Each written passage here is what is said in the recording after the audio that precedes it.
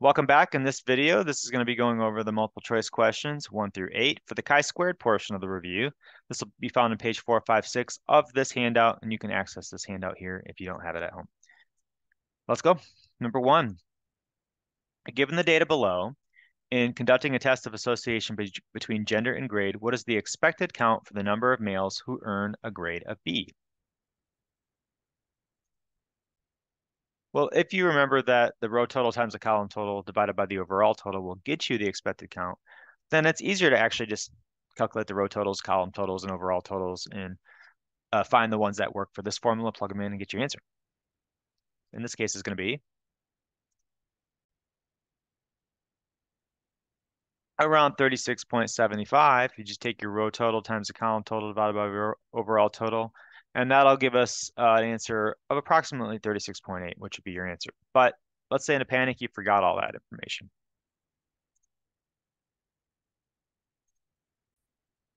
But maybe you remember how to use your matrix menu. Maybe you remember how to use your chi-square test and get that information.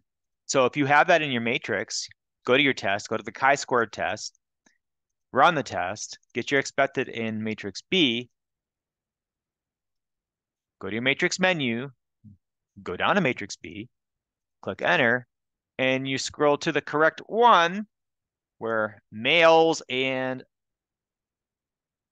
uh, males and uh, B, grade B match, you're going to see that that is 36.75. So 36.8 would be your approximate answer. So your answer is going to be 36.75, which is approximately 36.8.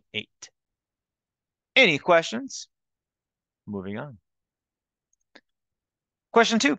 A study was done to determine if the method of instruction, either lecture or discussion, depended on the type of class which was being taught. 20 art classes, 17 math classes, and 25 science classes were observed. The method of instruction, discussion, or lecture was recorded.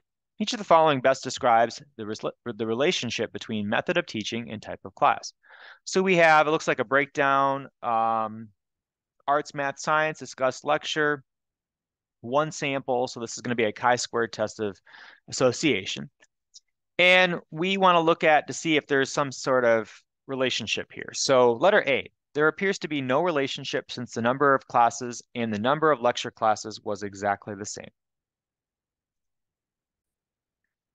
Well, that's not true. I mean, they're yes, they're both the number of classes that are lecture and discussion are the same, but look at the breakdown. If you look at your arts, there's a lot more lecture in arts than there is math. There's more discussions in math, more lectures in arts. There's more discussions in science than there are lectures. So there is some sort of relationship.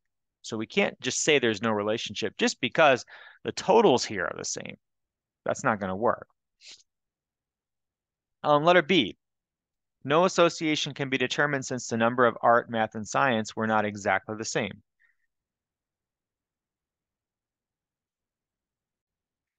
That's also not true. Just because those numbers were not the same doesn't mean no association can be determined. In fact, um, they don't have to be exactly the same. They can be off a little bit. What we're looking for is some sort of pattern. Do you notice that there seem to be more for one than there are for the other. If there was truly no association, they'd be somewhat the same, somewhat similar, but we'd have to run a test to determine how far off they would be. We're not talking about precise numbers here. So C, so B is not the correct answer. Letter C, there appears to be an association since the art classes were less likely to use discussion than either the math or science. Well, let's look at that question. There appears to be an association since the art classes were less likely to use discussion than math or science. Well, that is true. There's way less discussion here than there is for the math. There's a lot. Uh, there's a lot more discussion in math. Way less discussion for the arts. There's a there's a, even a lot more discussion in science than there is in the arts. So there seems to be an association here. Um, whereas the, the the math and science preferred the lectures the least, whereas the arts preferred the discussions the least. I seem to think that's true. So I'm going to say that's true, but let's go over why D and E are not true. D, there appears to be an association since the number of math and science classes is greater than the number of arts classes. Well, again, it leads back to these numbers here.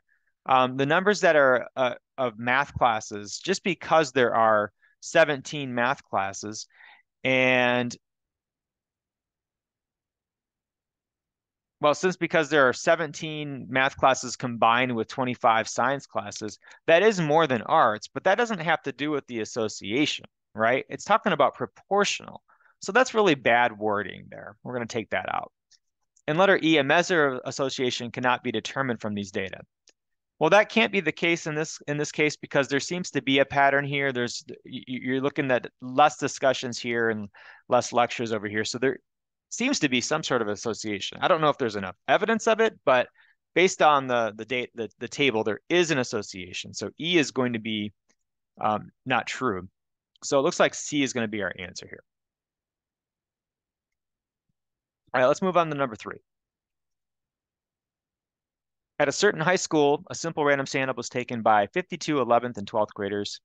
Uh, their political affiliation. The following two-way table was established. If a chi-square test of independence were performed on these data, what would the corresponding degrees of freedom be? The formula, which is not provided to you, is just the number of columns uh, minus one and the number of rows minus one. So if you plug in the Republican, Democrat, Independent, 11th grade, 12th grade, you're going to notice that for the rows, it's just going to be three minus one. So that's going to be two. And then 11th and 12th grade, that's two. So two minus one, that's going to be one. So two times one. And that's going to give you two. So your degrees of freedom is going to simply be two in this case. If you want to back it up running the test, throw them in the matrix, run the chi-square test.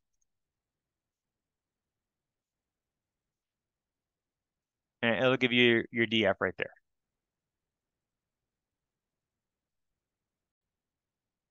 All right, question three is done. Let's look at question number four.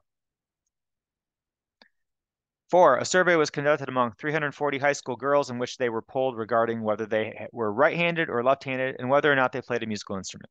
The table below displays the results of that survey. If the likelihood of a girl playing an instrument is independent of left or right-handedness, what is the expected number in the cell representing right-handed girls who play musical instrument?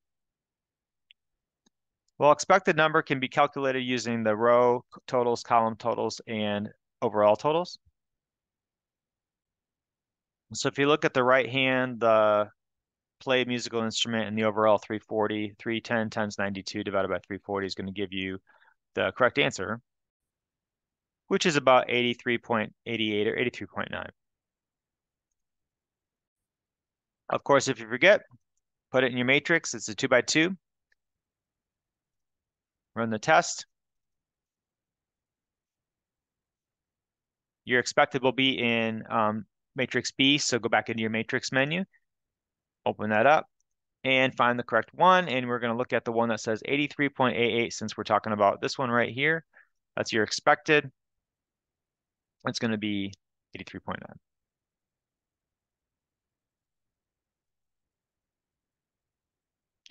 All right, uh, next question, number five. Number five, in a study to compare movie preferences among different age groups, a chi-squared statistic was used. If a small value of the test statistic is obtained, it suggests that A, the null hypothesis may be rejected since the differences between the observed and expected values are relatively large. Let's visit the chi-squared statistic so we can, uh, uh, distribution so we can kind of see what that means. I think the formula sheet's a really good visual for this. So when you look at your your very back page, you'll see this uh, right skewed chi-squared statistic. And remember, the p-value is this shaded area over here. Now, it's going to get smaller as the chi-squared statistic goes further to the right. So the larger this chi-squared statistic is, the smaller the p-value is. And so we're gonna we're gonna be more likely to reject the null hypothesis with a large chi-square statistic if you have a small chi-squared statistic, we're more likely to fail to reject the null hypothesis. So keep that in mind as we answer this question. The null hypothesis may not be rejected since the differences between the observed and expected values are relatively large. Well, in this case here, we're more likely to not reject the null if the chi-squared is small because the p-value will be high. So we're going to cross that one out. B, The null hypothesis may be rejected since the differences between the observed and expected values are relatively large. The null hypothesis may be rejected since the difference between the observed and expected values are relatively large. Reading the question stem carefully says, if a small value of the test statistic is obtained, if a small value. So that would kind of contradict part B. That test statistic being small would not lead us to believe our observed minus expected values are relatively large. Okay, that would be a large test statistic. So that contradicts that. C, the null hypothesis may be rejected since the differences between the observed and expected values are relatively small. Well, that doesn't contradict it, but the null hypothesis may be rejected would not be the case here. If the differences are relatively small, we would assume that the null hypothesis most likely would not be rejected. So again, that's not really going to be a, a, a well-worded answer. The null hypothesis may be rejected if the chi-squared statistic is large, because you'll have a small p-value. But in this question, it says if a small value of the test statistic is obtained. So again, we can't go through that logic. So letter D, the null hypothesis may not be rejected since the differences between the observed and expected values are relatively small.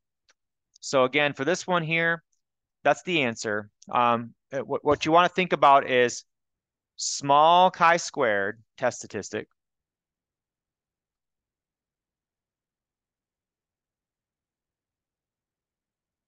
equals large p-value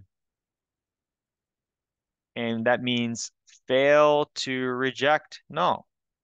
That's the right wording, okay? The null hypothesis may be rejected since the differences between the observed and expected values are going to be relatively small. In other words, if your chi-squared statistic is over here, if it's small, then you're going to have a large p-value.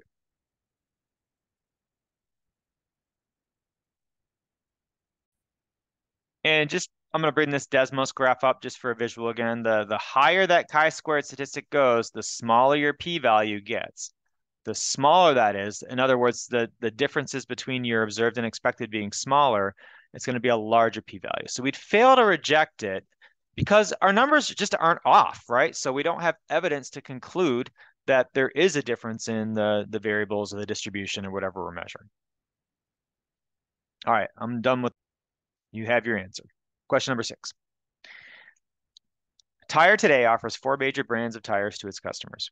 In order to determine whether the tires are equally preferred, 200 customers are randomly selected and offered each type of tire at the same price. Results show 43 by brand A, 61 by brand B, 55 by brand C, and 41 by brand D. Is there sufficient evidence to conclude that the customers have preferences between the brands? Use a significance level of 5%. This is going to be a chi-squared goodness to fit test. Um, you know this is going to be one sample, one variable, which is brand of tire. Um, we're going to go through and, and put our observed in L1, our expected in L2. Our expected in this case to just be 50, 50, 50, 50, since uh, our null, we're assumed that there is no brand preference. So we're that there is no difference between the brands. So it's just the same number for brand A, B, C, and D. So we're going to go into our stat menu and go to L1 and L2 and list out your observed in L1. I wouldn't do this one by hand if you don't have to do any free response.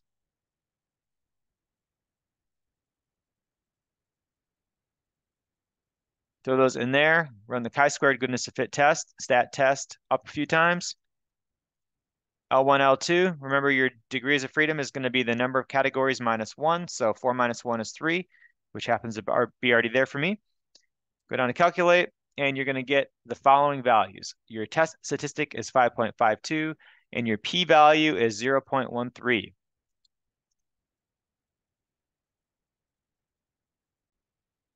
So if you get your p-value five uh, your x your chi-squared at 5.52 and your p-value of 0.137, we, we are going to fail to reject. Um, but what that means, of course, is that, that we do not have a sufficient evidence in this case. So your, your list here, you're going to say uh, Is there sufficient evidence to conclude that the customers have preferences between the brands? No.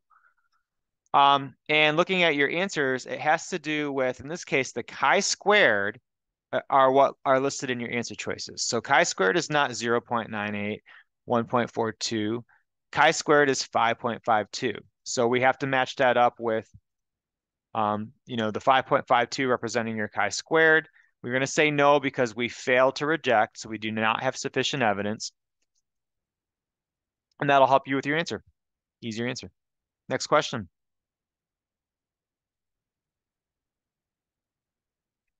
A random sample of 100 people was, was asked to state his or her gender and favorite ice cream flavor. The results appear in the table below.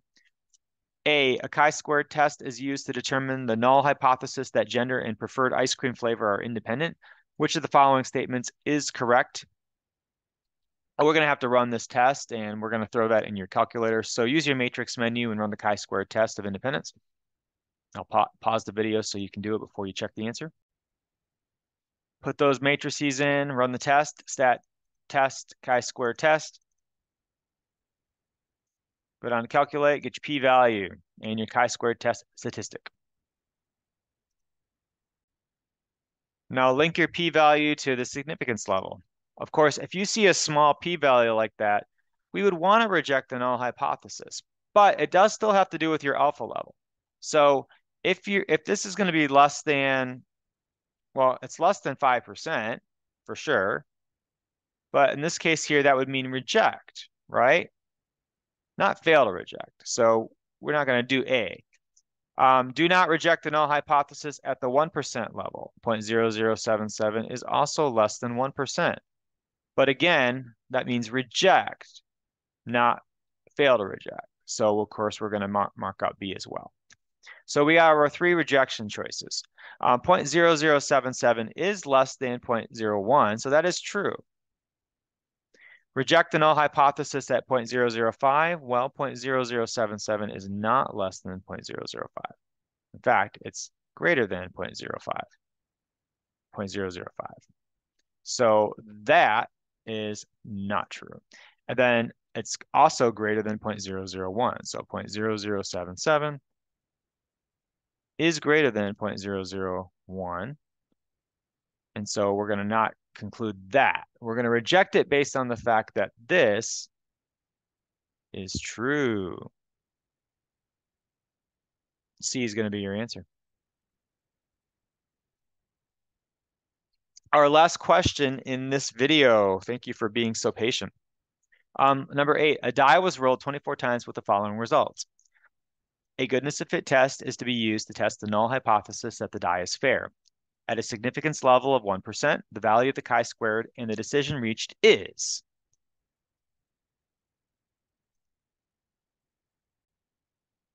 Well, think about your observed and expected. If it was a fair die, then there would be four rolls expected for each one if we're going to total up to 24 rolls. So using your observed or expected, run the chi-squared goodness of fit test in your calculator. Once you put them in L1 and L2, stat test, chi-squared GOF test, degree of freedom will be five since we're bumping it down from six rolls to one. And your chi-squared is 12.5. Your p-value is 0.0285. Let's write that down. Now we're used to using 5% as our default alpha level. This, this time we're using 1%. So with our p-value, even though it's small, it's actually greater than 1%. So we are going to fail to reject the null hypothesis. Um, so we'll fail to reject the null hypothesis because it's bigger than that alpha 1%. So your chi-squared is 12.5, fail to reject. That's the end of this video, guys. Thanks for watching.